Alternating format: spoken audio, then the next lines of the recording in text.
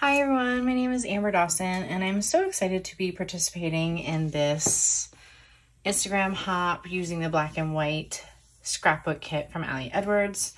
Um, the first thing that I thought of when I was thinking of a theme for black and white is my black and white tuxedo cat, who's my buddy. Um, and I thought it would be fun to have a play with the black and white and throw in some pops of color. So he has several nicknames that have evolved over the years of having him. And so what I have here is the 12 by 12 pattern paper that's all the little like arrows or carrots or whatever you'd call them back then. And I kind of thought they reminded me of cat ears a little bit. So I printed out a photo that I thought was really sweet here of a four by six and I also went online and I looked for a hello, my name is label and I typed his real name in there, which is Cypher. So I'm going to cut that out and probably put that somewhere right here along the photo. And then what I'm going to do is I have all these different labels that I looked for in my stash. Some are Kelly Purkey, some are Ali Edwards in a rainbow of colors. And then I was originally thinking about stamping and I realized that um, I might not have the right colors of inks that will go on some of these because some of these are like stickers and are shiny and I have several oxide inks and I didn't want to do all black. So I thought it'd be more fun to do color with color. So I went through my stash of stickers and have a variety of stickers ready to go. So I've got uh, red here I've got orange and I know some of this is off camera that's why I'm showing you now I've got these yellow ones I've got a lime not lime but a, more of a minty green I mean um, I've got a blue here. I actually have a couple blues. So I've got this turquoisey blue here that I'm gonna use with these stickers, a lighter blue with a navy, I've got a purple, and then a pink. That was the closest I could find for um, the stickers. And then I'm also hoping to put in some of these chipboard stars kind of scattered around. So what I'm gonna do is have them sort of scattered around the photo and then I'm, I want to try to do stitching to each of them on my sewing machine. And I also plan to maybe do a black frame and stitch around that as well and pop up the photo so that once everything in the background's down, that goes back on last. And we'll see how many embellishments I can squeeze in around, but I was kind of thinking about like little colored clusters. So I've got some of these puffy hearts in my stash, little chipboard hearts and um, a variety that um, hopefully will color coordinate as well. So I'm excited to see how it comes out. Um, the other last little thing I think I'm going to try to do is to um, stitch on the labels as well. So put the letter stickers down and then stitch through them so that they're really secure because I know sometimes they can pop off and there's going to be quite a few on here. So I'm gonna pause and pop you on fast forward. I'm not gonna make you sit through me putting every letter sticker on, but I do wanna kind of pop through them and show you what they're all gonna look like. And I can't wait to get this assembled. It's a layout I've kind of had in the back of my mind for a while. And just for kicks, um, here's my list. We got, his name is Cypher. Um, so we call him Syphie, Snugglebutt, Stinkbutt, Flufferbutt, Cypheroni, Bubby, Bubbers, Baby, and Sweet Pea. So um, I had to really sit and think about over the last few days of what I really call him, and I was jotting them down in the notes app in my phone. I just thought it'd be a fun layout, and I'm excited to see where it ends up. So one of the first things that I needed to do was determine which name was going to go on which label. So I cut up my list to make it easy to just kind of move them around.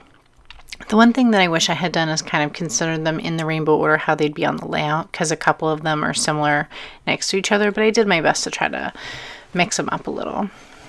So I'm definitely not going to make you watch me put down every single one here, but I wanted to show you most of the first one here. Now, when I apply stickers of almost any kind or almost anything sticky, I use my paper piercer. The one I have is an ancient one for like making memories.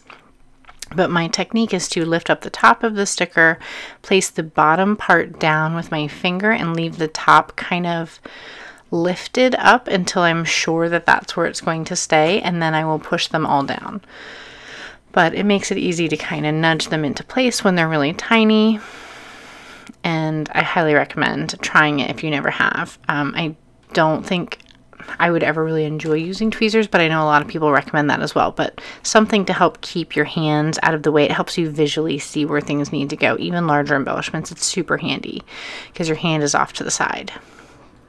So just kind of zooming on through all the different colors here. The majority of these stickers are from either Elle's Studio or Kelly Purkey's old or new brands and Paper Person. So if it was a label sticker that was already on paper, I just trimmed it out. Or if it was a sticker one, I just attached it to some scrap paper until I could get it cut out and just made it easier so that I could move these all around on my table and then on my paper until I figured out exactly where things were going to go.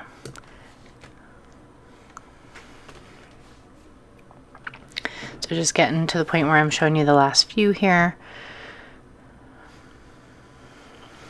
Those needed a little bit more help sticking them down. And sometimes I'll start on the left if it's a longer word. Sometimes I'll start in the middle. It just kind of depends on the word, I guess. I have no rhyme or reason. So my next step here is to get my photo um, attached to my background paper there. I'm using black Bazzill cardstock. I'm just using some Gina K one quarter inch Terrific tape there in the corners and just cutting it out by hand. I'm going to do a little line of stitching around the edges, trying to stick kind of close to the photo, but um, also trying to keep straight lines. I wasn't expecting perfection, but um, I did want to have like tight corners if I could. Sometimes I'll do like really messy stitching and do a few runs, but I didn't have very much space here, so I just stuck with one line of stitching, just enough to give it some dimension. So I'm just trimming off that excess string there. And my next step is going to be figuring out where the labels are going to go so I know where to do my starburst stitching. But but first I wanted to show you really quickly here how if you have a ticket style corner, like an inverted circle I guess you'd call it, using a quarter inch hole punch or really any hole punch will help you punch them out really evenly instead of trying to use your scissors because they almost never come out well. Um, this is slightly off camera so I apologize but it's a really nice easy way to punch out that ticket style. I just wanted to give you a, a chance to see that in action. So off camera I got everything organized and I did some light pencil lines and decided where I wanted the starburst to go. Um, they're pretty evenly spaced around the page but um, I ended up doing double lines because it is a busy pattern paper and I needed a little bit more than a single line to show through. I was trying to let it just stay subtle. Here I'm taking um, my scissors and I'm roughing up the edge of that cardstock just to give it a little bit more definition and I'm going to like crinkle a little in my hands. It doesn't make a huge difference, but it, it does make a nice subtle difference. I'm just scooting that all off the table there. You can see I'm roughing it up. And I know that it's going to need foam squares because I want it to pop off the page. So I'm using my Gina K pop dots. I like them because they have a really nice low profile. And I was just testing those to see if any part felt like it was sinking down. I needed just a few more on the edge there. So now I need to put all these back how I remembered them. The blue ones I couldn't quite remember exactly how I'd had them and I was filming so I couldn't stop and take a photo which is something that I would normally do. But um, I just needed to figure out what balance I wanted. Um, I knew the purple couldn't be that high but I was like what how did these go? So just trying to look for balance. I knew that the baby and the Siphy, the pink and the green ones were going to be on the photo to help them interact and connect and so I needed a pop-up square on the edges so that they would be the same height as the photo. And once I figured out where everything was going to go, I'm going to grab my quarter inch double-sided sticky tape from Gina K again and use that to adhere all these down. Normally I would use like a red line tape, but I didn't want to go with an adhesive that strong yet in, in case I wanted to move these. At least with the Terrific tape I can kind of move them around a little bit, but I knew that they needed more than just rolling adhesive because they're all straddling stitching somewhere and they wouldn't be able to stick down as well. And also some of them did get popped up with pop dots as well, just to dimension. So I used my ruler there to center the photo, got it popped down, and now I'm taking some of the black chipboard pieces of those stars from the kit and putting them on a few of the labels just for dimension. to help draw your eye around the page. And then what I really wanted to do, and I knew I wanted to do from the beginning, was to take a puffy heart from my collection of every color and I put a staple through it and just figured out which color coordinated with each uh, rainbow that I was working on. And I just, the red one I was able to staple to the page. The rest were too far away. I had to staple them first, like a faux staple, and then stick them down. But I'm really happy with those in particular. Even if I had added no other embellishments, I would have been happy with those, and I really like the way they came out.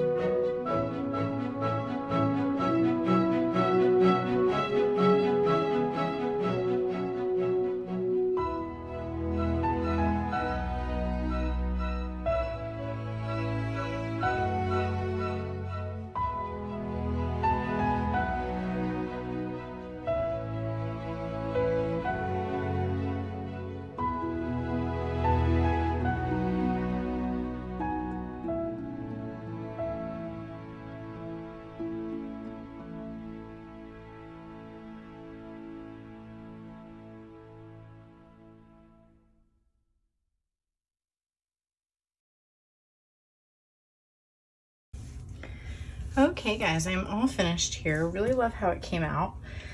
Um, I ended up adding two more little pieces here. So I added one more name that I thought of and it felt a little like there was too much gap here.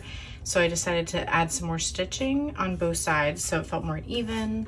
Added some greens here uh, for another nickname I thought of. And then I added some black embellishments here just to help it not feel empty. I was gonna let it kind of stand on its own, but I think it feels more complete and more balanced now and I'm really happy with how it came out. I was trying to be really um, like sporadic with the embellishments so that they didn't look too intentional, but that was kind of difficult. Um, and then I tried to create like a little bit of, you know, black stars to make your eyes move around the page. So really happy with how it came out and I hope you are inspired to stash bust and use some products. Thanks so much for watching. Bye for now.